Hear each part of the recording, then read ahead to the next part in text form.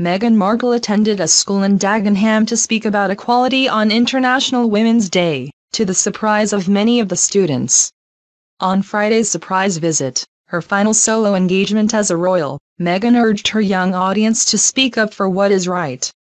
She was given a standing ovation for her talk, which marked International Women's Day. The Duchess of Sussex delivered her first speech since MEGXIT. No matter how small you might feel, no matter what color you are, no matter what gender you are, you have a voice and you certainly have the right to speak up for what is right. She added, I encourage and empower each of you to really stand in your truth, to stand for what is right. The Duchess told 700 adoring pupils, being in Dagenham is incredibly profound. Geraldine and the other women had the strength to really stand up for something that needed to be done.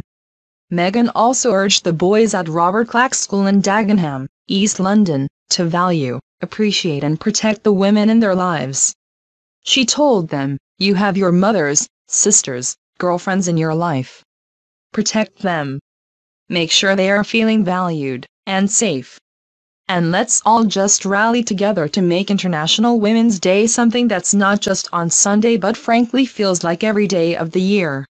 The Duchess told youngsters, when we thought about what I wanted to do for International Women's Day this year, for me it was incredibly important to be with the women of our future. And that is all of you young women here as well as you young men who play a very large part in this. She then decided to go off the cuff and asked for for a brave young man in this room to talk about the importance of the day.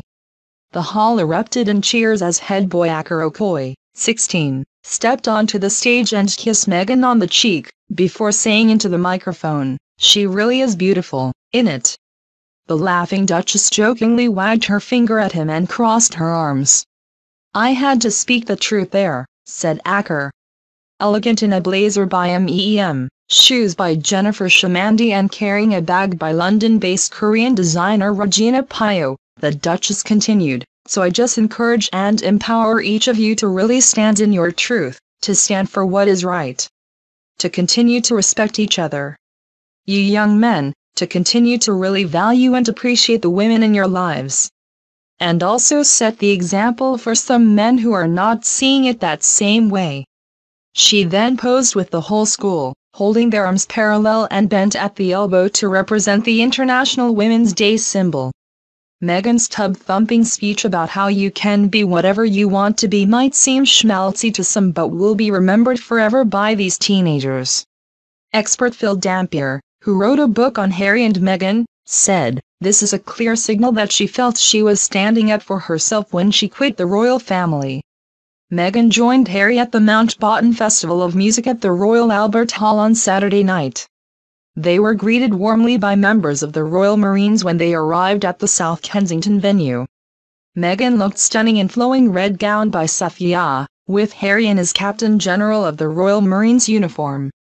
The Duchess was wearing head-to-toe red, and paired her stunning dress with a satin red clutch by Manolo and glamorous, dangly jeweled Simone Rocha earrings not to mention a chic pair of red heels by Aquazzura.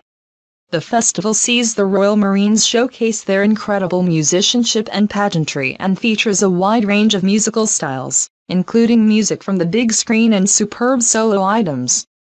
There will also be traditional marches and overtures that have proved such a hit with audiences over the years, with all proceeds going to the Royal Marines Charity and CLIC Sargent. This is set to be Prince Harry's last event as Captain General of the Royal Marines, and possibly his swan song in military dress, who even wrote a foreword for tonight's event. A segment of the Prince's foreword read, The Mountbatten Festival of Music continues to be a very special event that brings together the world-class musicians, composers and conductors of mass bands of Her Majesty's Royal Marines in an iconic venue. This year, it will mark the 75th anniversary of the end of the Second World War and the 80th anniversary of the formation of Britain's commandos. I can guarantee you're in for a real treat. This festival is also an opportunity to lift morale and inspire people of all ages, as well as raise much needed awareness and funds for the Royal Marines charity. This organization does such a fantastic job of supporting our Corps family and it is a cause which will always be very close to my heart.